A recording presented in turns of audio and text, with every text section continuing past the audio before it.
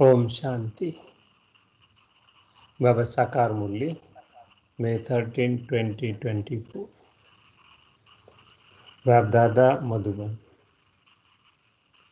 प्रातः मुरली है मतलब कल की मुरली है, शिव बाबा के महावाक्य। मुरली का सार है, मीठे बच्चे। तुम यहाँ मनुष्य से देवता बनने की ट्यूशन लेने आए, क्यों आए हैं? इसलिए कहते हैं ना भक्ति में, मनुष्य से किए देवता करत न लागी वार। परमात्मा को सौ साल में पूरी दुनिया को परिवर्तन करने की ज़िम्मेदारी और वो करके चला जाता है। इसलिए उनका नाम ही है महाकाल। इसलिए यहाँ आते हैं तो हमें ट्यूशन देता है, किसका ट्यूशन? मनुष्य से देवता बनने का। दुनिया में जब जाते हैं बड़ी बड़ी एग्ज़ामें होती है, आई या तो जिसको कहते हैं आईसीएस इंडियन सिविल सर्विस जिसके द्वारा आईएएस आईपीएस आदि आदि बनते हैं। तो उनकी स्पेशल ट्यूशन होती है। कलयुग के अंत में बाबा ये स्पेशल ट्यूशन देने हमें आया है। कौड़ी से हीरा बन रहे हो। क्या बन रहे हो? कौड़ी से हीरा मतलब एकदम पतित से। उससे पावन बन रहे हैं। टोटली बैंक थे। डूब गए थे। उससे हम ये सॉल्वेंट बन रहे हैं। इंसॉल्वेंट थे। उनसे हम सॉल्वेंट बन रहे हैं। इसलिए कॉडी से ही कहते हैं उनको। प्रश्न, तुम बच्चों को इस पढ़ाई में कोई भी खर्चा नहीं लगता है क्यों? आंसर क्योंकि तुम्हारा बाप ही टीचर है।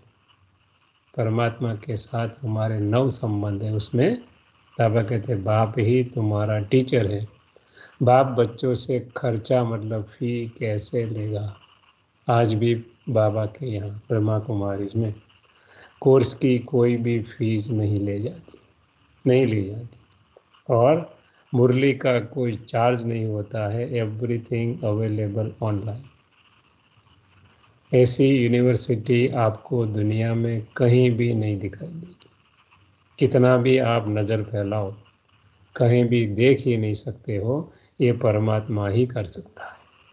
बाप का बच्चा बने, गोद में आए तो वर्षे के हकदार बने। बाप से मिलता है वर्षा मांगना नहीं पड़ता है किसी बच्चे को जन्म होते, कि मुझे वर्षा दो। ऑटोमेटिक रजिस्ट्री में उनका नाम चढ़ जाता। तुम बच्चे बिना खर्चे कौड़ी से हीरे जैसा देवता बनते हो। हमें कोई भी खर्च नहीं करना। नो वेस्टेज ऑफ़ मनी किसी को पैसा नहीं देना। नो वेस्टेज ऑफ़ टाइम कर्म करते करते हमें आत्मा समझकर बाप को याद करना है। And no wastage of energy हमें पॉजिटिव सोचना है। इसलिए कोई भी खर्चा नहीं। भक्ति में तीर्थ करेंगे। दान पुण्य करेंगे तो खर्चा ही खर्चा। आजकल देखो, हर चीज़ की फिक्स प्राइस होती आपको सत्यनारायण की कथा करनी है, इतने पैसे देने पड़ेंगे। कोई ने शरीर छोड़ दिया, अंतिम क्रिया के इतने पैसे देने पड़ते बाबा कहते हैं, बाबा कोई ऐसा खर्चा करने के लिए नहीं कहता। यहाँ तो बाप बच्चों को राजा ही देती, खर्चा की तो बात छोड़ो। बाबा हमें क्या देता है? राजा ही देता है, राजाओं का राजा बनाता है। सारा वर्षा मुफ़्त में देते हैं। इसलिए उनको कहते हैं, भोलानाथ, हम जो भी करते हैं, मानो भंडारी में कोई देता है तो बाबा कहते हैं, मेरा शरीर तो है ही नहीं। मैं आपका पैसा लेकर क्या करूँगा? आप जो दे रहे हो, आपके लिए दे रहे हो, मेरे लिए नहीं। मेरे नाम पर दे रहे हो, इसलिए बाबा ने सब जगह पे अपने अपने पूरे ट्रस्ट बनाए। टोरंटो में देखो, Brahma Kumar is world spiritual organisation. है आपको कुछ भी देखना है, कहाँ से पैसा आता है, कहाँ जाता है, आप डालो। कनाडा रेवेन्यू एजेंसी, उसके अंदर रजिस्टर्ड चैरिटीज़ उनके अंदर ब्रह्मा कुमारी आपको सब कुछ मिल जाएगा। इसलिए बाबा कहते हैं, कोई बाबा के लिए नहीं देता है, क्योंकि बाबा को शरीर नहीं हो पैसा लेकर क्या करेगा पावन बनो और वर्षा लो बस एक ही शर्त है बाबा की। धीरे धीरे बाबा की याद से पावन बनना है, पवित्र बनना है तो वर्षा ऑटोमेटिक मिल जाता है। ओम शांति। बच्चे समझते हैं क्या कि हम स्टूडेंट हैं? खाली बच्चे नहीं स्टूडेंट है। बाप के स्टूडेंट क्या पढ़ रहे हो? किसके स्टूडेंट टीचर नहीं बोला, बाप के स्टूडेंट हम मनुष्य से देवता बनने की ट्यूशन ले रहे हैं। और सबसे बड़ी दुनिया में यही ट्यूशन है। बाकी सब ट्यूशन अविनाशी नहीं है, विनाशी है, एक जन्म के लिए है। और ये ट्यूशन बाबा देता है एक ही जन्म के लिए। हम आत्माएँ परमपिता परमात्मा से ट्यूशन ले रहे हैं। शरीर नहीं ले रहा, कौन ले रहा है आत्मा? अभी समझ गए कि जन्म बाय जन्म अपने को दे समझते थे न कि आत्मा। आईने में जो दिखाई देता था, शरीर उनको ही हम समझते थे जो देह है, क्योंकि आत्मा का ज्ञान ही धीरे धीरे चला गया। हर धर्म शास्त्र में आत्मा रूह सोल के बारे में बहुत लिखा गया मगर धीरे धीरे धीरे दबता गया है, ओरिजिनल क्वालिटी चली गई इसलिए क्या समझने लगे देह? और देह में आकर कोई भी कर्म करेंगे देह भान में आकर सब पाप, कर्म, विकर्म बन जाते वह लौकिक बाप फिर ट्यूशन के लिए और जगह भेज देते हैं। कौन? हम दुनिया में जब पैदा होते हैं हमारे जो फ़िज़िकल फादर होते हैं बड़े होते हैं एल के जी एच के जी या तो स्कूल कॉलेज और जगह पे भेज देते हैं। सदगति के लिए और जगह भेज देते हैं। साठ साल जब हो जाते हैं रिटायर्ड हो जाते हैं, साठ पैंसठ तो गुरु के पास चले जाते हैं। बाप बूढ़ा हुआ तो फिर उनको वानप्रस में जाने की दिल होती है। परंतु वानप्रस के अर्थ को कोई जानते नहीं वाणी से परे हम कैसे जा सकते वानप्रस्थ का मतलब है, वाणी से परे जाना मतलब परम धाम में जाना। जहाँ कोई वाणी नहीं है, क्योंकि वहाँ शरीर ही नहीं है। तो बात कैसे करेंगे? बुद्धि में नहीं बैठता है, वहाँ तो वानप्रस्थ मतलब रिटायर्ड मतलब नौकरी धंधा नहीं करना है, बाकी सब कुछ करते रहते तब कहते इनकी बात नहीं है। अभी तो हम पति थे जहाँ से हम आत्मा ये आई है, वहाँ तुम पावन थे। जब हम परम धाम में थे तो परमात्मा समान थे और पूरे पावन थे। यहाँ आकर पाठ बजाते बजाते पतित बने। सीधे नहीं बने। धीरे धीरे नीचे उतरते हैं। और इतना धीरे उतरते हैं कि जैसे चींटी की चाल बाबा कहते हैं ना, पाँच हज़ार साल में और एक ही जन्म में सौ साल में ऊपर चढ़ जाते हैं। इसलिए इसकी कंपैरिजन में बहुत ही धीरे धीरे नीचे उतरते हैं।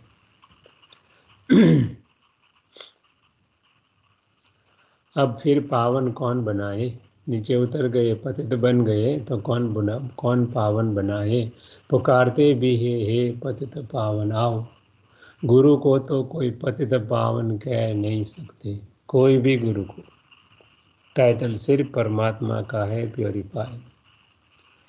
कोई भी धर्म पिता हो, धर्म नेता हो, कुछ भी हो, देवता हो, देवदूत हो, किसी को ये टाइटल नहीं पतित पावन।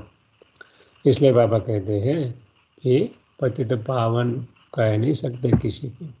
गुरु करते हैं, फिर भी एक में पूरा निश्चय नहीं बैठता है, इसलिए जाँच करते हैं, ऐसा कोई गुरु मिले। जो हमको अपने घर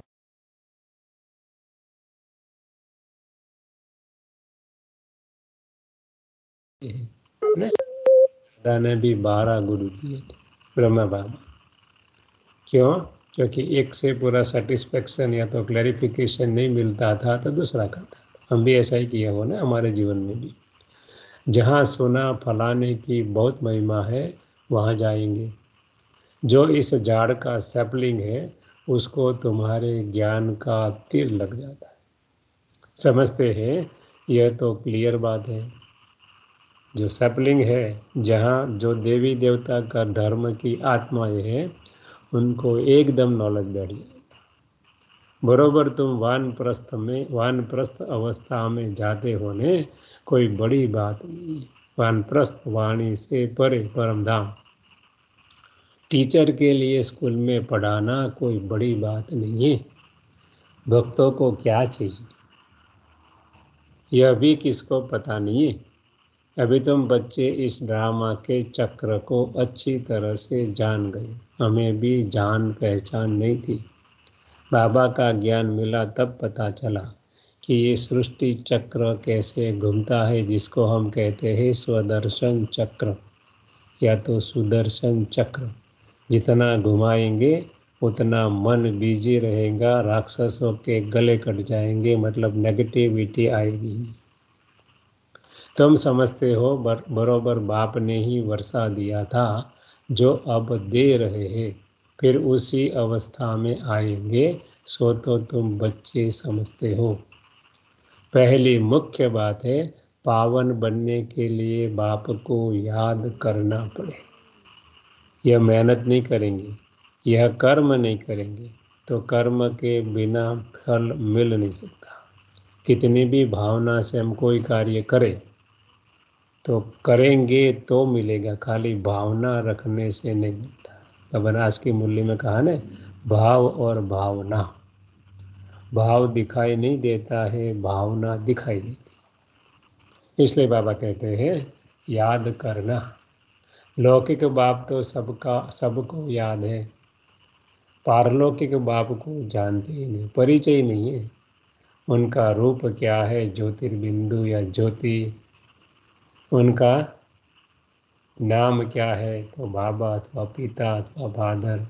कहाँ रहता है तो परम धाम उनकी क्वालिटीज़ क्या है, काफ़ी क्वालिटीज़ और उनका कर्तव्य क्या है? ये नहीं जानते तो पूरा परिचय नहीं है। अभी तुम समझते हो क्या?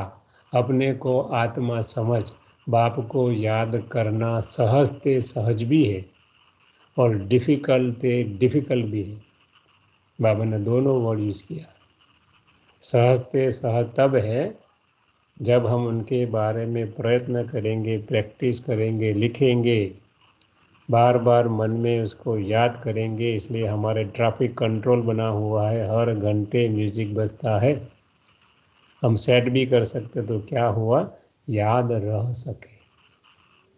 और याद रह सकेगी मतलब कर्म हुआ तो फल मिलेगा तो इजी वरना डिफ़िकल्ट से डिफ़िकल्ट भी है नहीं करेंगे तो कुछ नहीं मिलेगा। और इतना इजी भी नहीं है, बाबा कहते मासी का घर नहीं। आत्मा इतना छोटा सितारा है, बाप भी सितारा है। वह संपूर्ण पवित्र आत्मा और यह संपूर्ण अपवित्र। यह मतलब दादा किया संपूर्ण पवित्रता का संग तारे और कुसंग बोरे, सो तो एक का ही संग मिल सकता है। तार कौन सकता है? एक ही परमात्मा। इसलिए उनका ही संग रखो। बाबा के लौकिक, अलौकिक में ज़्यादा नहीं जाओ इसका मतलब ये नहीं किसी की हेल्प नहीं करो, मगर सेवा के तरीके से करो, अपना कोई भी स्वार्थ भाव उसमें न हो। संग चाहिए ज़रूर, संग तो चाहिए फिर कुसंग भी मिलता है पाँच विकार रूपी रावण का। संग दो प्रकार के, एक सत्संग, दूसरा कुसंग। द्वापर से मिलता है कुसंग और सत्संग होता है सत्युग त्रेता में। सत्य का संग परमात्मा का संग मतलब उसकी श्रीमत के अनुसार चल। वहाँ परमात्मा की ज़रूरत नहीं है, परमात्मा की याद की भी ज़रूरत। इसलिए बाबा कहते हैं, उनको कहा ही जाता है रावण संप्रदाय। तुम अभी बन रहे हो राम संप्रदाय। तुम राम संप्रदाय बन जाएँगे, फिर यह रावण संप्रदाय नहीं रहेगा। यह बुद्धि में ज्ञान है। राम कहेंगे भगवान को, जो पाँच तत्व से पार है, निराकार है, प्रकाश स्वरूप है, उनको राम कहेंगे। भगवान ही आकर राम राज्य स्थापन करते हैं, अर्थात स्वर्ग स्थापन करते हैं, अर्थात सूर्यवंशी राज्य स्थापन करते हैं। राम राज्य भी नहीं कहेंगे, परंतु समझाने में सहज होता है राम राज्य और रावण राज्य एक्चुअली है गॉड्स किंगडम कहते हैं क्योंकि राम राज्य में क्या होता है? त्रेता का राज समझ लेते वास्तव में है सूर्यवंशी राज, चंद्रवंशी है त्रेता वाला राज। तुम्हारा एक छोटा पुस्तक है। हीरे जैसा जीवन कैसे बने? यहाँ स्कारबरो में भी अवेलेबल है। आप कभी खोल कर पढ़ लेना। अब हीरे जैसा जीवन जिसको कहा जाता है मनुष्य क्या जाने सिवाय तुम्हारे? उनको तो पता ही नहीं हीरे जैसा जीवन क्या होता। लिखना चाहिए, हीरे जैसा देवताई जीवन कैसे बने? देवता अक्षर ऐड होना चाहिए। देखा, बाबा हर चीज़ पढ़ता है, हर चीज़ देखता है। तुम फील करते हो, हम हीरे जैसा जीवन यहाँ बना रहे। सिवाय बाप के और कोई बना न सके। किताब है अच्छा। उसमें यह अक्षर सिर्फ़ ऐड करो। देखा, बाबा सब कुछ जानता है, करता है। तुम आसुरी कौड़ी जैसे जन्म से, देवताई हीरे जैसा जन्म सेकंड में प्राप्त कर सकते हो। बिगर कौड़ी खर्चा, एक भी पैसा खर्च करने की बात नहीं। बच्चा बाप के पास जन्म लेता है तो वर्षे का हकदार बनता है। बच्चे को खर्चा लगता है क्या? गोद में आया और वर्षे का हकदार बना। खर्चा तो बाप करते हैं, न कि बच्चा। बच्चा तो छोटा है, वो क्या खर्चा करेगा? अभी तुमने क्या खर्चा किया है? बाप का बनने में कोई खर्चा लगता है क्या? जी नहीं। जैसे लौकिक बाप का बनने में खर्चा नहीं आता वैसे पारलौकिक बाप का बनने में भी कोई खर्चा नहीं लगता। अलौकिक जन्म हुआ। ज्ञान से ब्रह्मा मुख से पैदा हुए ऑटोमेटिक हकदार बन गए। यह तो बाप बैठ समझाते हैं, पढ़ाकर तुमको देवता बनाते हैं। तुम कोई छोटे बच्चे तो नहीं हो, बड़े हो। बाप का बनने से बाप राय देते तुमको अपनी राजधानी स्थापन करनी है। क्योंकि हम एकदम छोटे नहीं एल के जी। शरीर से बड़े हैं। इसलिए बाबा राय देते इसमें पवित्र ज़रूर बनना है। खर्चा तो कुछ भी नहीं, कुछ भी नहीं लगता। गंगा पर जाते हैं, तीर्थों पर स्थान कर, स्नान करने जाते हैं। खर्चा तो करेंगे ना डोनेशन करेंगे। तुमको बाप पर निश्चय हुआ, खर्चा लगा क्या? तुम्हारे पास सेंटर्स पर आते हैं। तुम उनको कहते हो, अब बेहद के बाप का वर्षा लो, बाप को याद करो, बाप है ने? बाप खुद कहते हैं, मेरा वर्षा तुमको चाहिए तो पति से पावन बनो, तब पावन विश्व के मालिक बन सकेंगे।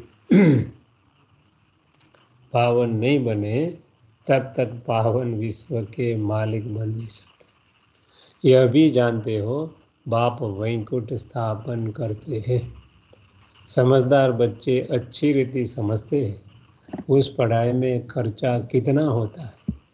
यहाँ खर्चा कुछ भी नहीं। है ना? वहाँ दुनिया में कितनी फ़ीस होती जितना बड़ा कोर्स, उतनी बड़ी फ़ीस। लाखों रुपया फ़ीस होती है आजकल तो। आत्मा कहती है, हम अविनाशी है। यह हम शरीर में विनाश हो जाएगा। बाल, बच्चे आदि सब विनाश हो जाए सब कुछ हमारा शरीर, दूसरों का शरीर। अच्छा फिर इतने पैसे जो इकट्ठे किए हैं, वह क्या करेंगे? हैं? क्या करेंगे? इतने पैसे इकट्ठे करें ख्याल तो होगा न? कोई साहूकार भी होंगे। समझो उनको कोई है नहीं साहूकार को। ज्ञान मिलता है तो समझते हैं। इस हालत में पैसा क्या करेंगे? पढ़ाई तो है सोर्स ऑफ़ इनकम बाबा ने बताया था, एक इब्राहिम लिंक, अब्राहम लिंकन था, बहुत गरीब था। ना उनकी स्टोरी पढ़ लो, अब्राहम लिंकन की जीवन कहानी। रात को जाग कर पढ़ता था, और कहाँ पढ़ता था? स्ट्रीट लाइट में। पढ़ पढ़ कर इतना होशियार हो गया, जो प्रेसिडेंट बन गया। खर्चा लगता है क्या? कुछ भी नहीं। बहुत है जो गरीब होते क्यों? गरीब होते हैं, उनसे गवर्नमेंट पैसे नहीं लेती है पढ़ने के। स्कॉलरशिप देती है ऊपर से। ऐसे बहुत पढ़ते हैं तो भी बिगर भी प्रेसिडेंट बन गया। कितना बड़ा पद पा लिया इसका प्रेसिडेंट छोटी बात नहीं बाबा कहते वह, यह गवर्नमेंट भी कुछ खर्चा नहीं लेती। यहाँ क्या है? बाबा की गवर्नमेंट जिसको कहते हैं पांडव गवर्नमेंट समझती है दुनिया में सब गरीब। है पल कितने भी शाहूकार, लखपति, करोड़पति है, वह भी कहेंगे गरीब है। क्यों? As compare to golden age हम उनको साहूकार बनाते हैं। फल धन कितना भी हो, तुम जानते हो। बाकी थोड़े दिन के लिए है। यह सब मिट्टी में मिल जाएगा। कुछ भी रहने वाला नहीं। जो तो गरीब ठहरे ने, इसलिए बाबा तो गरीबी हुए ने। सारा मदार है, पढ़ाई, जितनी पढ़ाई करेंगे, वही साथ में चलेंगे। बाकी कुछ भी साथ चलने वाला नहीं। इसलिए बाबा कहते हैं, सारा मदार है पढ़ाई पर। बाप बच्चों से पढ़ाई का क्या लेंगे? बाप तो विश्व का मालिक है। बच्चे जानते हैं, हम भविष्य में यह बनेंगे। यह मतलब लक्ष्मी नारायण बनेंगे। मैं आया हूँ, यह स्थापना करने, और वही कर सकता है। दूसरे किसी की ताकत नहीं है इस दुनिया में। किसी को भी पावन बना सके। दुनिया की बात तो छोड़ो। खुद को भी पावन बना नहीं सकते। बाय फोर्स बनती बेज में भी यह समझा नहीं, हमारा जो बेज होता है नई नई इन्वेंशन निकलती रहती। बाबा कहते आगे आगे चलते जाएँगे, नई नई बातें निकलती जाएँगी, जिसको इन्वेंशन कहते बाबा। कहाँ ज्ञान में भी? विज्ञान से तो निकलेगी दुनिया में, मगर यहाँ भी। शिव बाबा कहते हैं, हमारी जो आत्मा है, उनमें सारा बाट नुंदा हुआ, है ना? बीस विंग बनी हमारी। तो ये क्या है इन्वेंशन धीरे धीरे करके आगे। पहले प्रदर्शनी नहीं होती थी।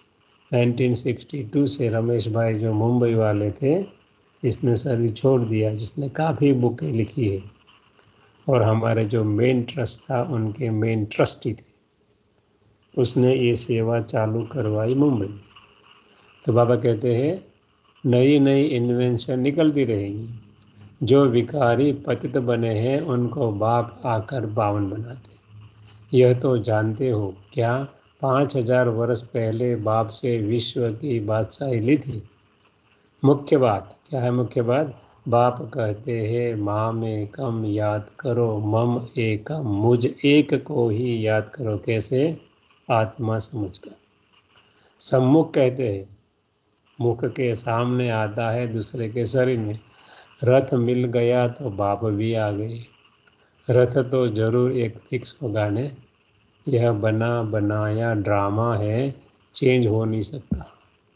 कहते हैं जौहरी कैसे प्रजापिता ब्रह्मा बनेगा? लोग कहते थे ने, समझते हैं, ये जौहरी था।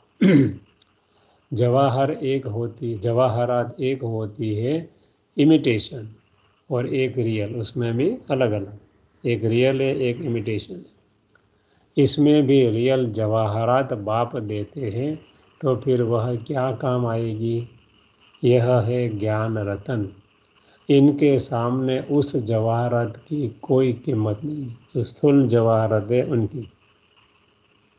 अब यह रतन मिले तो समझा यह जवाहरत का धंधा तो कोई काम का ब्रह्मा बाबा का अनुभव। ज्ञान मिला तो बोले, ये क्या लगा पत्थर, हीरा पत्थर लगने लगा। सब कुछ छोड़ दिया धीरे धीरे यह अविनाशी ज्ञान रतन एक एक लाखों रुपयों का है। ये बात है कब की साकार बाबा के समय कितने कितने तुमको रत्न मिलते हैं, यह ज्ञान रतन ही सच्चे बन जाते फिर ये सूक्ष्म जो मिलता है मैं बाबा से, वो स्थूल हो जाता है। तुम जानते हो, बाप यह रतन देते हैं झोली भरने के लिए। यह मुफ़्त में मिलते हैं। खर्चा कुछ भी नहीं, अभी तो एवरीथिंग ऑनलाइन वहाँ तो दीवारों छतों में भी हीरे जवाहर लगे रहते, कहाँ सत्युग में? उनकी वैल्यू क्या होगी? वैल्यू बाद में होती है, जब पॉपुलेशन बढ़ता है स्कैरसिटी हो जाती है, तब उनकी वैल्यू बनती है डिपेंडिंग ऑन लॉ और law of demand and supply तब तक वैल्यू नहीं है। वहाँ तो हीरे जवाहर भी तुम्हारे लिए कुछ नहीं है। यह तो बच्चों को निश्चय होना चाहिए। बाप ने समझाया, क्या? यह रूप भी है तो बसंत भी है। रूप मतलब योग, बसंत मतलब ज्ञान। दोनों है। बाबा का छोटा सा रूप है। उनको ज्ञान का सागर कहा जाता है। यह ज्ञान रतन है जिससे तुम बहुत धनवान बनेंगे। बाकी कोई अमृत व पानी आदि की बरसात नहीं है। शास्त्र में दिखाते ज्ञान अमृत की वर्षा कहते ऐसा कुछ होता नहीं है स्थूल में। अमृत की बरसात मतलब पानी की बरसात, अमृत की वर्षा बाबा का अमृत क्या है? ज्ञान है। स्थूल पानी के रूप में दिखाया। पढ़ाई में पानी की बात नहीं होती। पावन बनने में खर्चे की बात ही नहीं। तुमको विवेक मिला है। समझते हो, पतित पावन तो एक ही बात तुम अपने योग बल से पावन बन रहे हो। कोई पावन बनाता नहीं, रास्ता दिखाता है। चॉइस हमारी है करेंगे तो बनेंगे, वरना कैसे बनेंगे? जानते हो, पावन बन पावन दुनिया में चले जाए अब राइट यह है या वह? बाबा कहते ये राइट व दुनिया वाले। इन सब बातों में बुद्धि चलनी चाहिए। ओके क्योंकि बुद्धि चलाओ विजुलाइज करो। ड्रामा में यह भक्ति का पाठ भी होने का ही है। वो पाठ नहीं होता तो दुनिया यहाँ तक पहुँचती ही नहीं, इसलिए उनका भी इम्पोर्टेंस है। भक्ति का फल है ज्ञान, और ज्ञान का फल है परमात्मा मिलन। बाप कहते अब तुमको पावन बन, पावन दुनिया में चलना। जो पावन बनेगा, वह जाएगा। जो यहाँ की सैपलिंग होंगे, वह निकल आएँगे। यहाँ के मतलब सत्य की बाकी थोड़े ही समझेंगे। यह तो दुबन में फंसे ही रहेंगे। दुबन, जितना निकलने का प्रयत्न करो, और नीचे चले जाते जब सुनेंगे, तब पिछाड़ी में कहेंगे, अहो प्रभु, तेरी लीला अपरंपार। तब तो विनाश हो जाएगा। आप पुरानी दुनिया को नई कैसे बनाती हो? तुम्हारा यह ज्ञान अखबारों में बहुत बहुत बढ़ जाएगा ना? अखबार वाले कनाडा में भी छापते हैं आजकल। उनको भी बाबा की टचिंग होती है, निमित्त कोई भी बने, मगर काम है बाबा का, कराने वाला बाबा है। खास यह चित्र अखबार में रंगीन डाल दो और लिख दो, शिव बाबा प्रजापिता ब्रह्मा द्वारा पढ़ाकर स्वर्ग का मालिक यह लक्ष्मी नारायण बना दे। कैसे? याद की यात्रा से।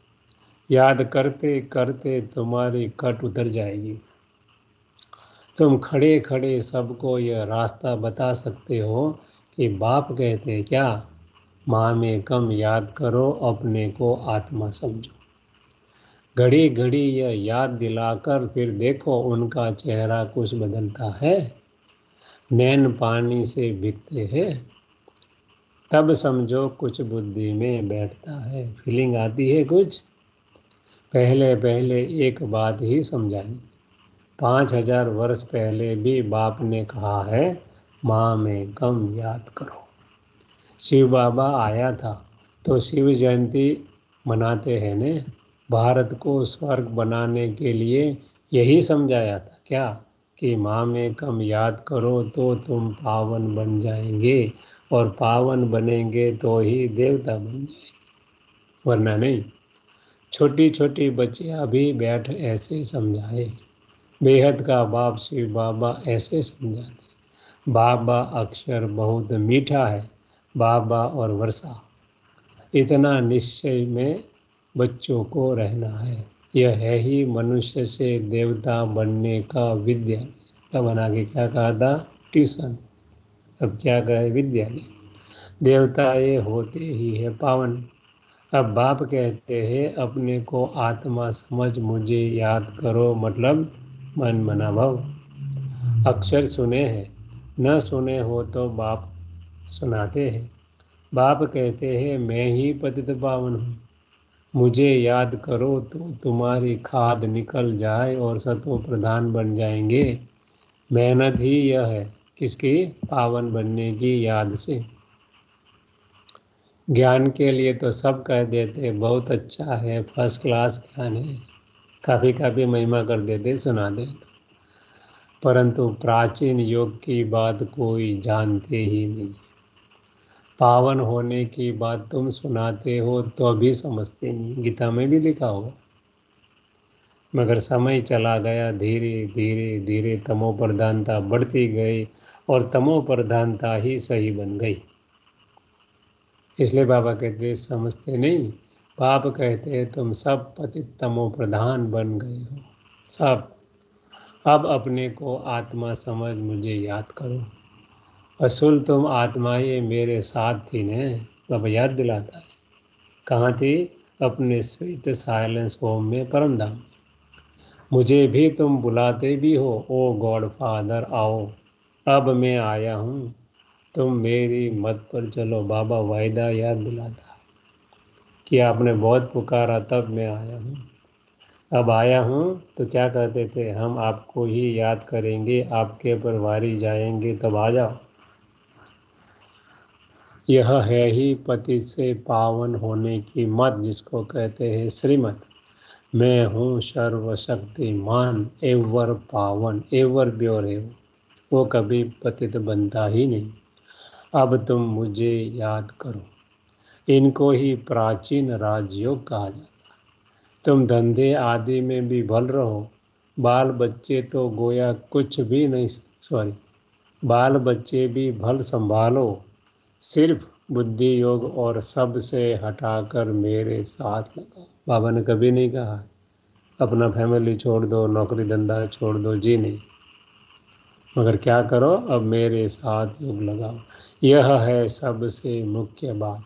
यह न समझा तो गोया कुछ भी नहीं समझा। ज्ञान के लिए तो कहते, बहुत अच्छा ज्ञान देते हो। पवित्रता भी अच्छी है। परंतु हम पवित्र कैसे बने? हमेशा के लिए यह बात समझते नहीं। देवता ये हमेशा पवित्र थे ने, वह कैसे बने? यह बात पहले पहले समझानी बाप कहते हैं, मुझे याद करो। याद से ही पाप मिट जाएँगे और तुम देवता बन जाएँगे। दूसरा कोई दुनिया में रास्ता ही नहीं। अच्छा मीठे मीठे सिकल दे बच्चों प्रति मात पिता बाप दादा का याद प्यार और गुड मॉर्निंग रूहानी, बाप की रूहानी बच्चों को नमस्ते। हम रूहानी बच्चों की रूहानी माता पिता बाप दादा को याद प्यार गुड मॉर्निंग और नमस्ते। शुक्रिया बाबा, शुक्रिया। धारणा के लिए मुख्य सारे पहले पॉइंट स्वयं को गरीब से साहूकार बनाने के लिए। और सब यही चाहते हैं ना कि हम गरीब न रहें, साहूकार बन जाए। बाप से अविनाशी ज्ञान रतन लेने ही। यह एक एक रतन लाखों रुपयों का है। इनकी वैल्यू जानकर पढ़ाई पढ़नी जितना वैल्यू करेंगे, उतनी हमारी कॉन्शियसनेस ऊपर जाए और उतनी ही याद बढ़ी यह पढ़ाई ही सोर्स ऑफ़ इनकम है। इसी से उच्च पद पाना। दूसरी पॉइंट राम संप्रदाय में आने के लिए संपूर्ण पवित्र जो एक बाप है, उसका ही संग करना है। कुसंग से सदा दूर रहे, कुसंग बोरे, संग तारे। सबसे बुद्धि घटाकर एक बाप में लगाना है। आज का वरदान है, शक्तिशाली याद द्वारा। सेकंड में पद्मों की कमाई जमा करने वाले आज भी बाबा ने समय का महत्व बताया। उसमें बहुत अच्छी बात की कि याद कैसी रहे, इमर्ज रूप में रहे, मर्ज रूप में नहीं। इसलिए बाबा कहते हैं, शक्तिशाली याद द्वारा सेकंड में पद्मों की जमा, कमाई जमा करने वाले पद्मा पदम भाग्यशाली। आज की मुरली का मुख्य सार ये था ना संपन्न बनो। मतलब सर्व खजानों को जमा करो। बाबा समझाते हैं, आपकी याद इतनी शक्तिशाली हो जो एक सेकंड की याद से पदमों की कमाई जमा हो जाए। जिनके हर कदम में पदम हो तो कितने पदम जमा हो जाएँगे?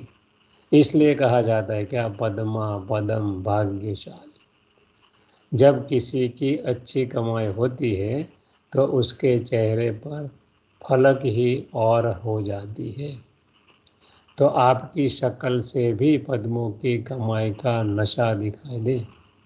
ऐसा रूहानी नशा, रूहानी खुशी हो जो अनुभव करे कि यह न्यारे लोग न्यारे और बाप के प्यारे। आज का स्लोगन है ड्रामा में सब अच्छा ही होना है। इस स्मृति से बेफिक्र बादशाह बनो। बाबा कोई फ़िक्र नहीं रखो। सब फ़िक्र बाबा को दे दो और बेफिक्र बादशाह बनो। मगर कब? जब ड्रामा में बुरा निश्चय होगा तब। अच्छा? ओम शांति।